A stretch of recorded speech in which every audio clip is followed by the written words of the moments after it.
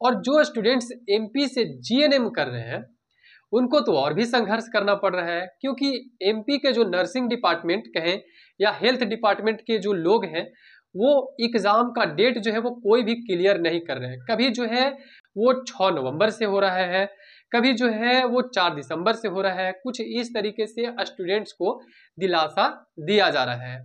तो क्या चार दिसंबर के बाद भी आगे डेट बढ़ेगा या क्या होगा? वो हम आपको बताने वाले हैं। और इतना ही नहीं, हम आपको और बताते हैं कि कुछ एडिटर, एडिट करने वाले, वो अलग परेशान कर रहे हैं। और कुछ यूट्यूबर भी जो है, वो भी सही से नोटिफिकेशन नहीं दे रहे हैं। तो आज हम आपको पूरा जो है, वो नर्सिंग का जो है, एमपी नर्सिंग का जो है, हम पूरा वेबसाइट पे हम आपको ओपन करके सब कुछ हम आपको बताने वाले हैं कि क्या डेट आया है, क्या जो है नोटिफिकेशन आया है, किस डेट को, ये सब हम आपको बताने वाले हैं।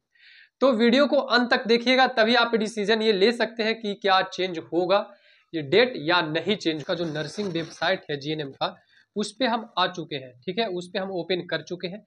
हम अब आपको आगे बताएँगे कि कौन सा नोटिफिकेशन आया है और नहीं आया है, क्या आया है डेट चेंज होने का नहीं, ये सब कुछ हम आपको बताने वाले हैं।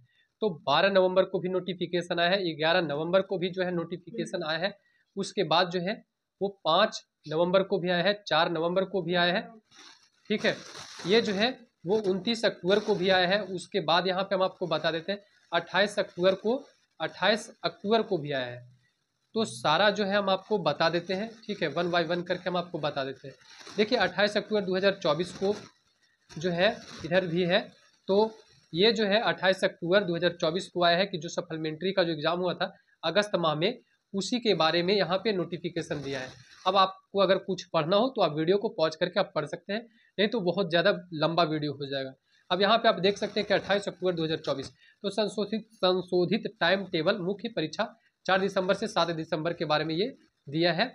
और फिर वही है यहाँ पे अट्ठाईस अक्टूबर 2024 तो संशोधित टाइम टेबल मुख्य परीक्षा चार दिसंबर से सात दिसंबर जीएनएम प्रथम वर्ष एवं एएनएम प्रथम वर्ष। इसके नीचे जो है वो क्या था? कि जीएनएम सेकेंड और थर्ड ईयर के बारे में बताया था। अब यहाँ पे उनतीस अक्टूबर, क्या है जीएनएम एवं एएनएम के मुख्य परीक्षा के फॉर्म भरने एवं फॉरवर्ड करने। जीएनएम एवं एएनएम की परीक्षा जो होगा, उसका फॉर्म भरने का नोटिफिकेशन उनतीस अक्टूबर को आया है। उसके बाद चार नवंबर को देखिए जीएनएम एवं एएनएम की पूरक परीक्षा के आंतरिक एवं प्रविष्टि करने बाधत यानी कि जो अंक, जो आंतरिक अंक है, उसके बारे में इसमें बताया गया है। उसके बाद पाँच नवंबर 2024 तो सत्र 2022 से तेईस के एएनएम एवं जीएनएम के ऑनलाइन नामांकन आवेदन की तिथि में संशोधन के बाधत यानी कि जो सत्र यानी कि सेशन जो जो बाईस से तेईस में जो एडमिशन करवा है, उनका जो है और भी आगे एडमिशन हो सकता है अभी, ठीक है? और अगर कोई एडमिशन करवाना चाहता है तो ऑनलाइन एडमिशन करवा सकता है ऑनलाइन नामांकन, यानी कि नामांकन कहे तो एडमिशन के आवेदन की तिथि में संशोधन यानी कि बाधा बढ़ाया गया है। ठीक है, हम आपको ओपन करके भी दिखाएँगे तो बहुत ज़्यादा समय लग जाएगा। ठीक है, आप यहाँ पे देख सकते हैं कि वीडियो दो मिनट से अधिक हो रहा है। उसके बाद जो है, ये बारह नवंबर। बारह नवंबर को क्या है? तो बारह नवंबर या ग्यारह नवंबर को दोनों सेम ही आए हैं। तो बारह नवंबर को है वर्ष 2022 से तेईस में प्रवेश छात्र छात्राओं के ऑनलाइन नामांकन आवेदन की तिथि में संशोधन के संबंध में।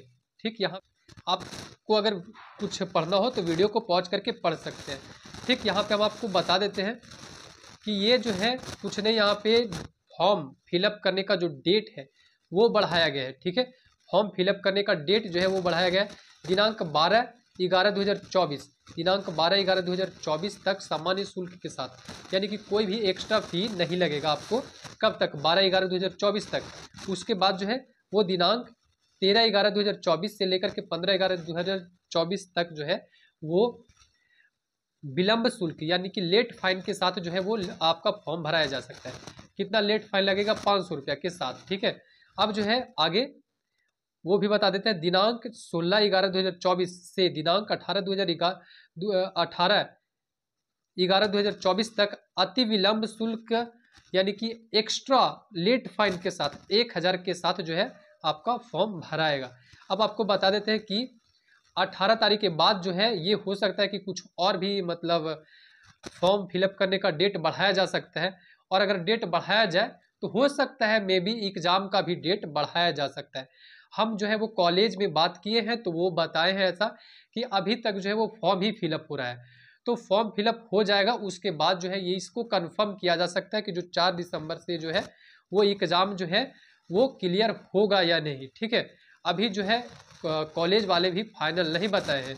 तो ये था, ठीक है, देखिए, बारह तारीख के बाद जो है, वो कोई भी नोटिफिकेशन नहीं आया। आप यहाँ पे देख सकते हैं कि बारह तारीख लास्ट है, जो हम आपको ओपन करके बता दिए। अब आगे क्या होता है, वो आप नोटिफिकेशन आता है या नहीं, हम आपको अपडेट करते रहेंगे। और ये सारा जो है नोटिफिकेशन इसको हम डाउनलोड करके आपको व्हाट्सअप चैनल और टेलीग्राम चैनल पे हम शेयर करते रहते हैं तो अगर आप लोग उसको फॉलो नहीं किए हैं तो फॉलो कर लीजिएगा।